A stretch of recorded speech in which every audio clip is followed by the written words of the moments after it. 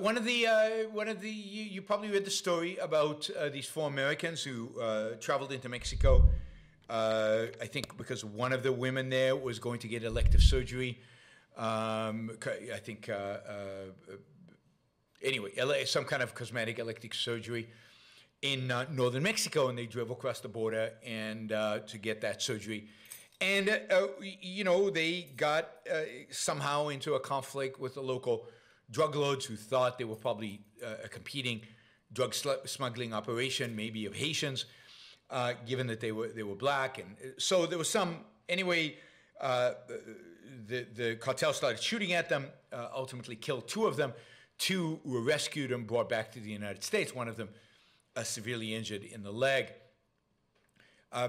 this is on top of just the ongoing, constant, massive uh, violence instigated by the drug cartels in Mexico, uh, the thousands and thousands of deaths uh, per year. Uh, and of course, this is on top of, and maybe this is all a consequence of, uh, the, the fentanyl trade and, and the, the smuggling of massive quantities of fentanyl across the Mexican border.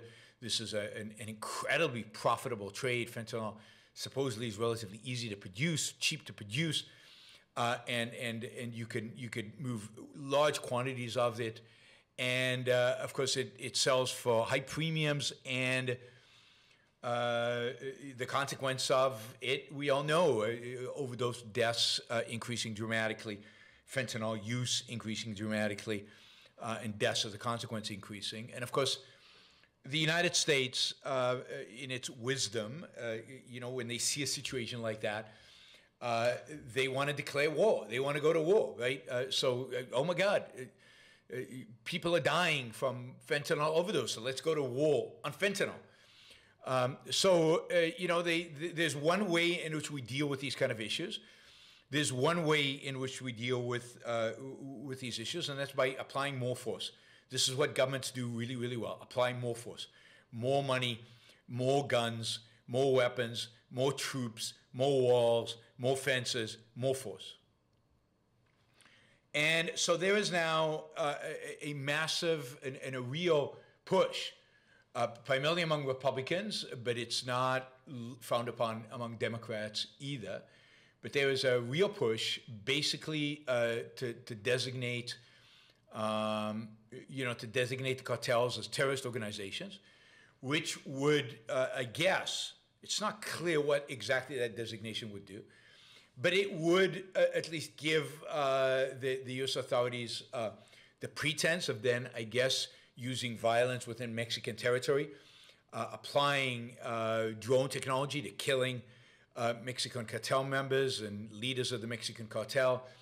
and, and ultimately, I think if the Mexican does, gov- government doesn't do anything about these cartels, actually deploying U.S. troops inside Mexico to deal with these cartels. In other words, uh, what is being proposed and what is being proposed really, uh, you know, among pretty much every Republican candidate running for president. Uh, Trump has, stated this as a goal. Uh, um, what's in it? Vivek has stated this a goal. We haven't heard anything from DeSantis, so who knows what DeSantis thinks.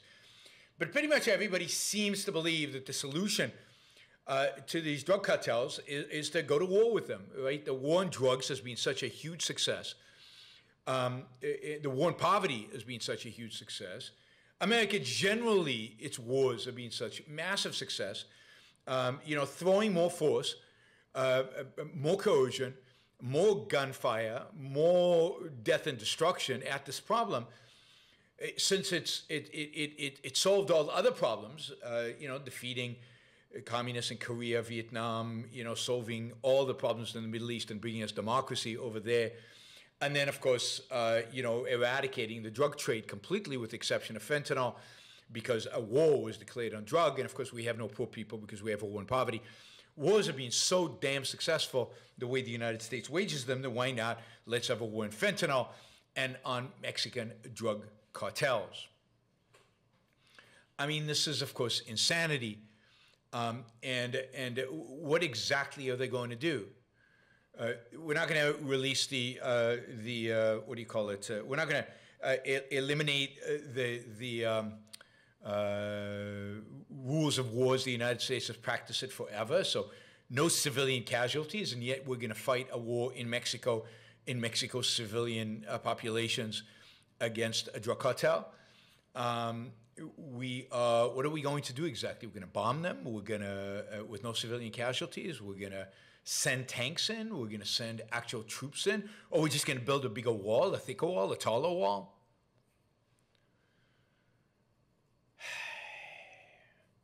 I mean, there is significant violence in Mexico, primarily towards Mexicans. It, it, it, to the extent that going into Mexico is really dangerous, Americans should just stay home. To the extent that particular uh, particular people have killed Americans, and we know who those people are, they should be hunted down, uh, ideally by the Mexican authorities, and persecuted, prosecuted, and persecuted. And if the Mexican authorities won't do it, then yes, the United States government should, in, it, in, in its responsibility for protecting the individual rights of Americans, go in without declaring full on war and without trying to stop the fentanyl trade, which is insane. Try to, you know, uh, uh, punish those who have inflicted pain on Americans.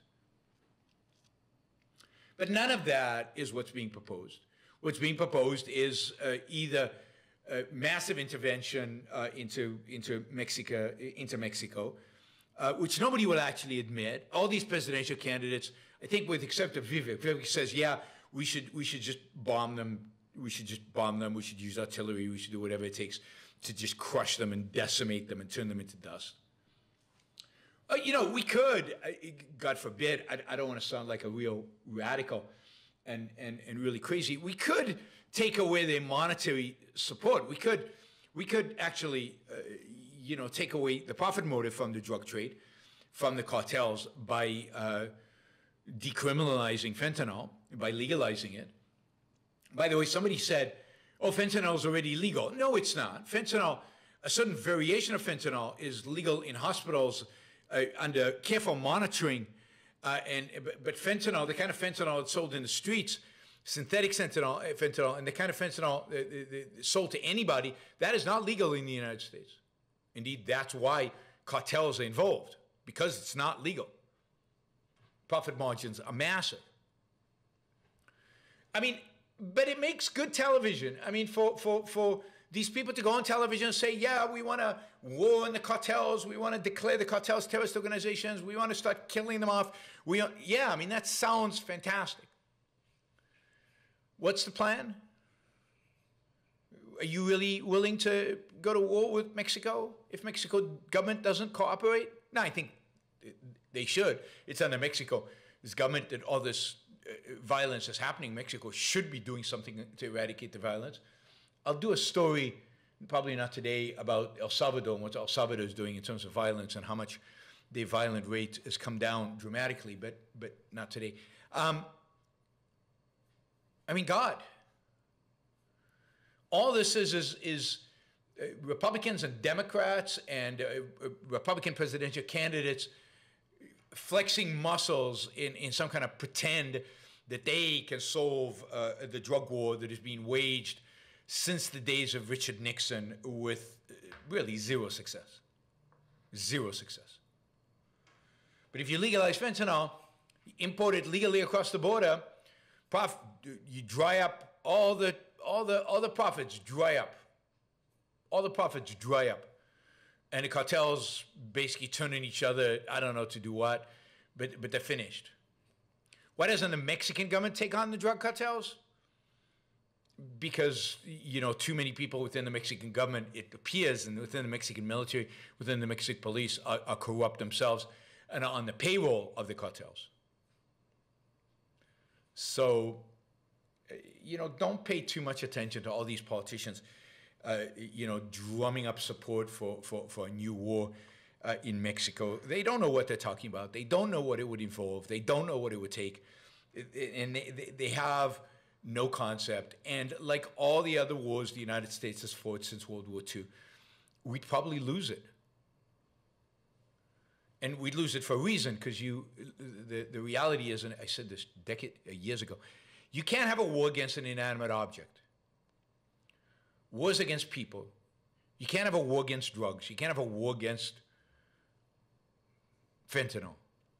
You can you can have a war against cartels. You define the enemy clearly, and then set out the strategy to destroy them. We could do that, but we won't because we're not. We don't have the, strategist. We don't have the will. We don't have the the moral and mental capabilities to actually execute a war like that that destroys them. And then for what? Well, well once the cartels are destroyed, will new cartels come around? You notice you don't hear much about the Colombian cartels anymore. Why? Well, because they've been replaced by much worse M13 style cartels in Mexico and in Central America. But cartels haven't gone away. If you defeat all the cartels and you uh, uh, and fentanyl remains illegal and demand for fentanyl remains high, all that will happen is you'll have more cartels, new cartels, different cartels, maybe in different places. And you will have spent a huge amount of money, potentially gone to war with Mexico, a bunch of Americans would have got killed doing this. A lot of Mexicans would have got killed doing this, and you'd be right back to square one. The fact is that as long as there's demand for drugs, there will be supply for drugs. As long as there's demand for drugs and you make it illegal, there will be supply of drugs and there will be a lot of casualties because that supply of drugs will be delivered through violence because you made it illegal. Thank you for listening or watching the Yaron Brooks Show. If you'd like to support the show, we make it as easy as possible for you to trade with me. You get value from listening, you get value from watching. Show your appreciation. You can do that by going to yaronbrookshow.com slash support, by going to Patreon, Subscribestar, Locals, and just making a appropriate contribution uh, on any one of those uh, any one of those channels. Also, if you'd like to see the Yaron Brook Show grow, please consider sharing our content and, of course, subscribe. Press that little bell button right down there on YouTube so that you get an announcement when we go live. And for you, those of you who are already subscribers and those of you who are already supporters of the show, thank you. I very much appreciate it.